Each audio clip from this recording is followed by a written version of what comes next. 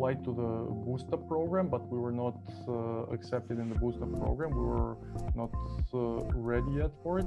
So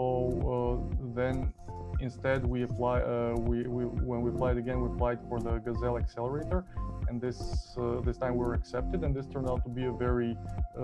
useful program for us because we got a lot of valuable training especially in uh, that, help us better define our value proposition and prepare a a, a, pitch,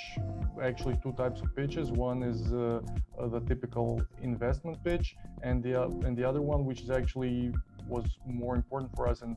more our focus, is the um, the so-called market pitch, which uh, help us uh, uh, re refine and and express express well our our main value proposition for our customers.